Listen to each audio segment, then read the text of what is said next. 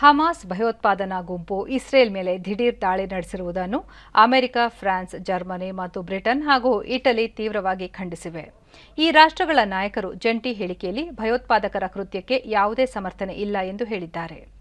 America ಅಧ್ಯಕ್ಷ Joe Biden, France ಅಧ್ಯಕ್ಷ Emmanuel Macron, German chancellor Olaf Scholz, Italy ಪ್ರಧಾನಿ Giorgia Meloni, Britain ಪ್ರಧಾನಿ ರಿಷಿ ಸುನಕ್ ಅವರು ಹಮಾಸ್ ಉಗ್ರರ ದಾಳಿಯನ್ನು ತೀವ್ರವಾಗಿ ಖಂಡಿಸಿದ್ದು, ಇಂತಹ ದೌರ್ಜನ್ಯಗಳ ವಿರುದ್ಧ ಜನರನ್ನು ರಕ್ಷಿಸಿಕೊಳ್ಳಲು ಇಸ್ರೇಲ್ಗೆ ಎಲ್ಲ ರೀತಿಯ ನೆರವು ನೀಡುವುದಾಗಿ ಹೇಳಿದ್ದಾರೆ. ಈ ಮಧ್ಯೆ ಯುದ್ಧದಿಂದಾಗಿ ಇಸ್ರೇಲ್ನಲ್ಲಿ ಮೃತಪಟ್ಟವರ ಸಂಖ್ಯೆ ಒಂದು ಸಾವಿರದ ಐನೂರಕ್ಕೂ ಹೆಚ್ಚು ದಾಟಿದೆ. ಇಸ್ರೇಲ್ ಗಾಜಾ ಪಟ್ಟಿಯಲ್ಲಿ ಪ್ರತಿದಾಳಿಯನ್ನು ಆರಂಭಿಸಿದೆ.